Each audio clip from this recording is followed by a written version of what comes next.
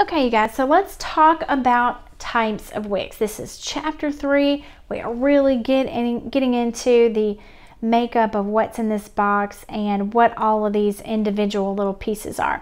I wanted to talk to you a little bit about the wicks because uh, while you get 50 wicks with your kit, if you go through 50 candles, then you're going to have to get some more. So we're going to talk about these particular types of wicks. If you like these, um, how you can get some more like it. And we're also going to talk about some alternatives because there are a lot of options. So let's get into it. Um, historically, wicks are made of like a reed or a paper, but now they are more commonly made from like a braided cotton, or often you'll see like a flat, thin wood wick as well, which is kind of a bit more common when you see like a rustic type candle. The wicks that come in your Chandler toolkit are cotton core wicks. They're popular for votives, pillars, um, large containers, even these like small little like mason jar candles. It's just a great all around general wick. Um, it's less rigid than paper or zinc. It burns the hottest in comparison to paper and zinc.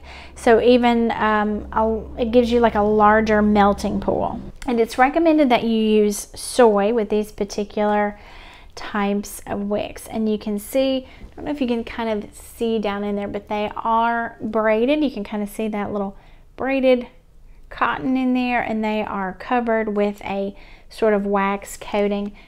They are attached to the metal um, stand there. This is the part that we are going to adhere to the can, uh, candle container. And it's got like a little bit of a standoff you see there. You, we mentioned earlier you don't want your candle to burn all the way to the glass. That's why you've got like an eighth of an inch um, little space there of metal so that your candle's not going to burn past that point. So great little uh, stand here to add into your candle Okay, some other wick options would be flat wicks. Flat wicks are the most common type. They are made of small threads that are braided or knitted into a bundle. These wicks are self-trimming and will curl after burning.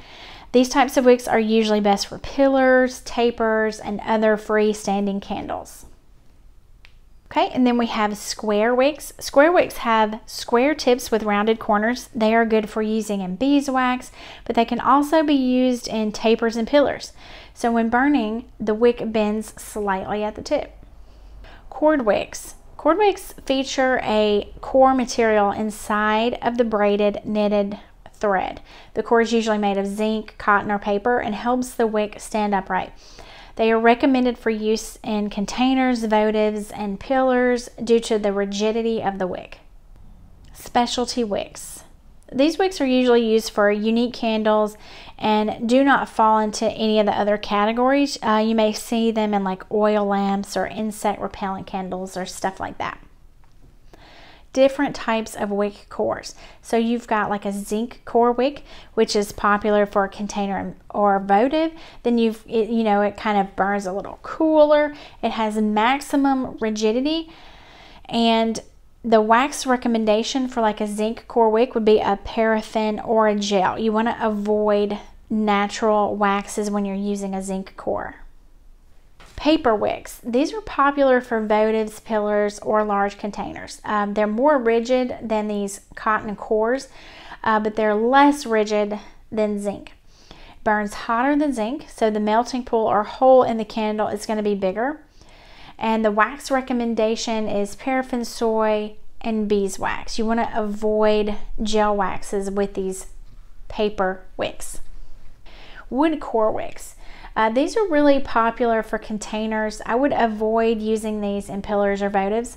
These are a great alternative to candle wicks. Um, and I would avoid excessive fragrance or oils. They're available in one or two ply, hard and soft wood.